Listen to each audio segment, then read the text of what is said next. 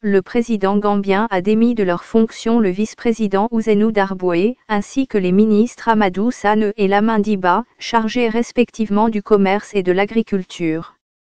Monsieur Darboué, ancien opposant historique au régime de Yaya Jammeh, a été évincé du gouvernement à la suite de tensions entre le chef de l'État et la direction du Parti démocratique uni, UDP, selon l'agence France Presse. Adama Barrow, candidat de l'UDP, avait battu lors de la présidentielle de décembre 2016 Yaya Jamais.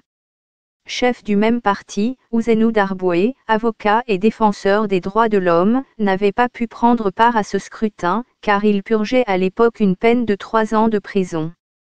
Après le départ en exil de M. Jamais en janvier 2017, Ouzenou Darboué a été gracié par Adama Barrow, qui en a fait son ministre des Affaires étrangères, puis son vice-président à partir du 30 juin 2018 la Gambie lève le voile sur la mort de 11 soldats tués en 1994. Difficile relance économique en Gambie. Ce parti soupçonne Adama Barrow de vouloir transformer un mouvement de jeunesse entièrement acquis à sa cause, le Barrow Youth Movement for National Development, le mouvement de jeunesse Barrow pour le développement national, en parti politique et d'en faire une rampe de lancement pour sa candidature à la prochaine élection présidentielle.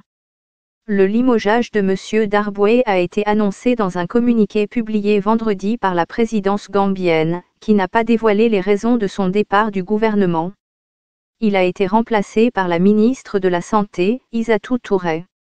Important remaniement ministériel en Gambie Le ministre du Commerce, Amadou Sahane, proche d'Ouzenou Darboué a également été relevé de ses fonctions et remplacé par Lamin Job.